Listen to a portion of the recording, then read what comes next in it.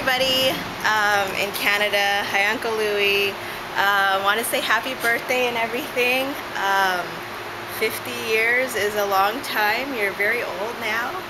So it's good that they're giving you a big old party. Um, I want to say thanks to um, all the people over there for setting it up and all that stuff.